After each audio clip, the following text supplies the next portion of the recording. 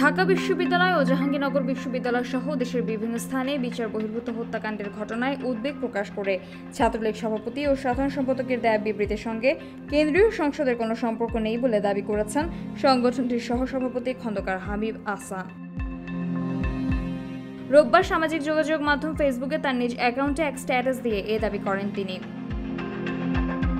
Facebook স্ট্যাটাসে তিনি লেখেন, বাংলাদেশ ছাত্রলীগের যে প্রেস, সামাজিক যোগাযোগ মাধ্যমে এসেছে, এটির সঙ্গে বাংলাদেশ ছাত্রলীগ, কেন্দ্রীয় নির্বাহী সংসদের কোনো সম্পর্ক নেই। সাদ্দাম হোসেন এবং শেখ ইনানের একান্ত ব্যক্তিগত প্রেস। বাংলাদেশ ছাত্রলীগকে ছাত্র সমাজের বিরুদ্ধে দাঁড় করিয়ে সারা দেশে ছাত্রলীগের তৃণমূল নেতাকর্মীদের সঙ্গে তামাশা করার সুযোগ কোনোভাবেই নেই।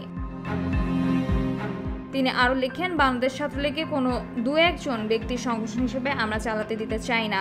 বাংলাদেশ ছাত্রলীগ ছাত্র সমাজের মতামত নিয়ে সামনের দিনে শিক্ষার্থীদের স্বার্থে কাজ করবে। তবে এর কিছুক্ষণ পর ছাত্রলীগের সহসভাপতি খন্দকার হাবিব আহসান ফেসবুকে দেয়া তার ওই পোস্টটি সরিয়ে নিয়েছেন। এদিকে ছাত্রলীগের কেন্দ্রীয় সভাপতি সাদ্দাম হোসেন এবং সাধারণ সম্পাদক শেখ ওয়ালি আসিফ ইনান স্বাক্ষরিত এক বিবৃতিতে সংগঠিত বিচার বহির্ভূত হত্যাকাণ্ডের বিষয়ে উদ্বেগ প্রকাশ করে। এতে বলা হয়, সম্প্রতি ঢাকা বিশ্ববিদ্যালয়ে তোফাজল হোসেন, জাহাঙ্গীরনগর বিশ্ববিদ্যালয়ের স্বামী মোল্লা এবং রাজশাহী বিশ্ববিদ্যালয়ে আবদুল্লাল মাসুদ সহ দেশের বিভিন্ন প্রান্তে সংগঠিত বিচার বহির্ভূত হত্যাকাণ্ডের বিষয়ে উদ্বেগ প্রকাশ করেছেন ছাত্রলীগ।